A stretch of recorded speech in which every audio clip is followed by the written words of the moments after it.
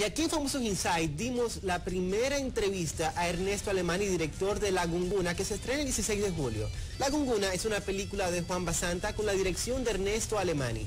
Este nuevo filme presentó ayer a la prensa credenciales y cuenta con las actuaciones principales de Panky y Nash Labogar. Además, va a contar con la participación de Gerardo Mercedes, Jaime Tirelli, Yanina Irizarri, Halsen Tantana, entre otras figuras. Los personajes motivados, algunos por la venganza, otros por el engaño, persiguen un mismo fin. Escuchemos qué nos dicen Juan Basanta, Nashla y Panky sobre este proyecto.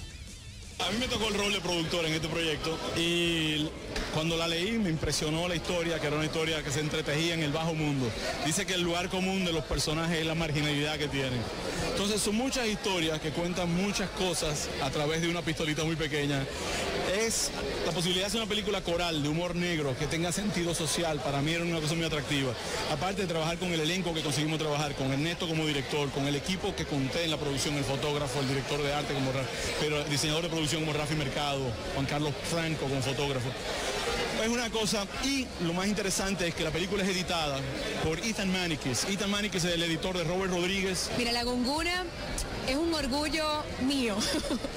Yo estoy loca por ver la película porque, bueno, ya, ya he visto parte de ella, pero estoy loca por ver el producto terminado porque se, se trabajó con muchísima pasión, es lo primero. Es una historia distinta, es una historia cargada de sustancia, es un género no muy explorado en República Dominicana, para no decir que es la primera vez. Es, es una historia irreverente que trabaja el humor desde una versión bastante inteligente y, te demuestra las partes humanas de los villanos de la, de la vida. Yo en, La Gunguna hago el personaje de Maitín el Gago, hay que decirlo con acento, Maitín. Yo soy un mocano deportado, no soy muy buena gente y tengo a mi compañero, se llama Pancho, y nosotros eh, nos llega la cumbuna, que la gente que esté viendo esto, la cumbuna es una pistola, una pistola muy pequeña, pero que todo el mundo quiere porque tiene un valor muy grande, pero al mismo tiempo también tiene un Fuku.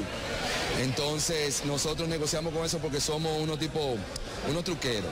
De verdad que sí, la gente va a disfrutar muchísimo estos personajes porque de verdad nosotros somos como los Joker de, la, de la película. La producción cinematográfica se va a estrenar en los cines del país, como dije al principio, el próximo 16 de julio. Ya lo saben, estaremos pendientes de todo lo que suceda sobre ese tema.